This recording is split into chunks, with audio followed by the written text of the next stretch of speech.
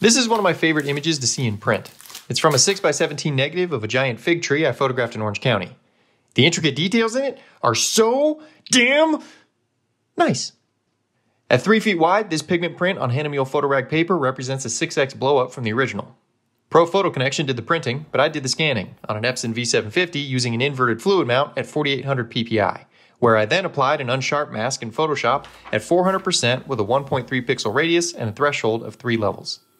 After resizing the file to 12 by 36 inches at 300 ppi, I did another two rounds of sharpening, this time using Smart Sharpen.